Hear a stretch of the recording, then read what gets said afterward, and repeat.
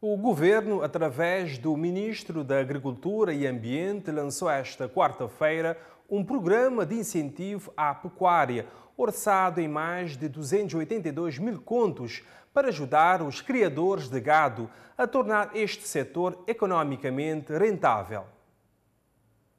Este programa de incentivo à pecuária pretende ajudar todas as famílias que dependem da pecuária a nível nacional a modernizar o setor, afirmou o ministro da Agricultura e Ambiente. O objetivo principal desse programa é ajudar eh, tudo quem é que está dedica à criação de animais, portanto a pecuária familiar acima de tudo, para modernizar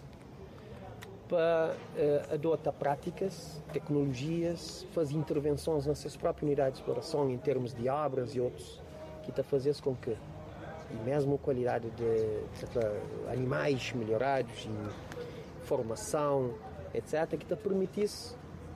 ter mais rendimento, produzir uh, produtos, não só para de animais, mas também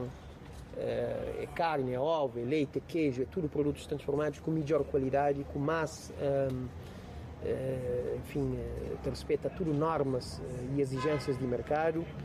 para que nós no, no país inteiro dê um salto em frente em termos de rendimento o governante solicitou o comprometimento dos criadores de gado no processo de modernização do setor para que possam ser introduzidas tais melhorias. Portanto, é pela primeira vez que Cabo Verde se tem inscrito um programa de natureza, um Santapapia de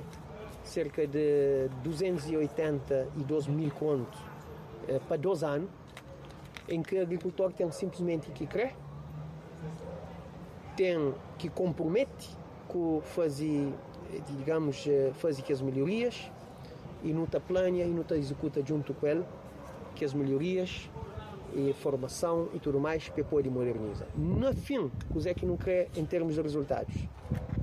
é, é tem que olhar mais rendimento, ambiente mais respeitado, é, tudo produtos com maior salubridade e, acima de tudo,